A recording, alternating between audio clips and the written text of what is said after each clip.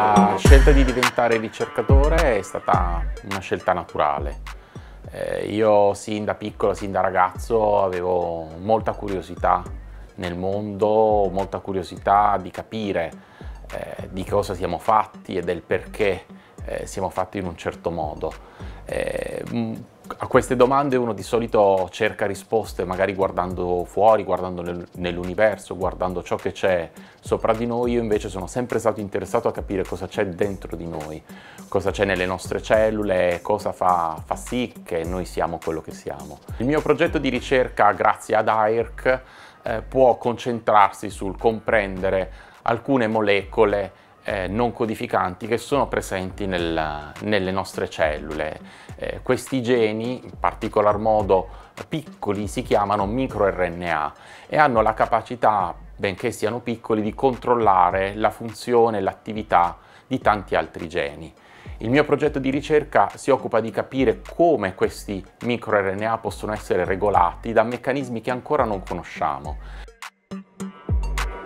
Per me la ricerca sul cancro è comunque qualcosa che è utile a tutti, perché il cancro comunque ci spaventa, rappresenta un problema, un problema che dobbiamo risolvere. AIRC è una realtà bellissima fatta di tante persone, rappresenta molto bene la ricerca perché la ricerca che facciamo noi ricercatori è proprio questo, collaborare, essere tutti un'unità, una famiglia con un unico obiettivo, eh, lavorare per il futuro, lavorare per una speranza che è quella di sconfiggere il cancro grazie alla ricerca. Fortunatamente fuori dal laboratorio riusciamo anche ad avere una vita, una vita fatta di momenti con amici, con, uh, con familiari, con parenti, ma fatta anche di momenti di svago.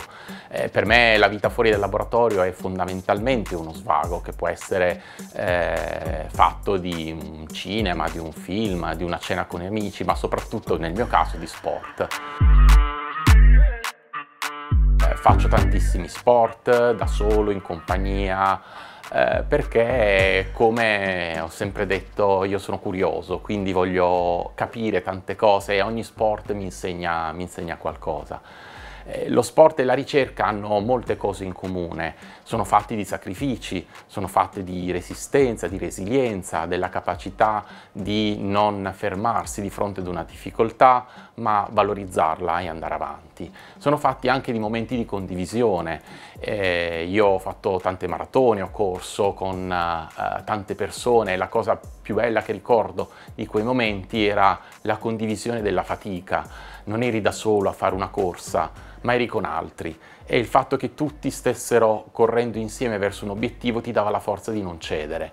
E così anche nella ricerca, siamo tanti ricercatori, non, non è eh, ciascuno di noi da solo contro questa sfida, ma tutti insieme sentiamo il coraggio che viene dagli altri per andare avanti.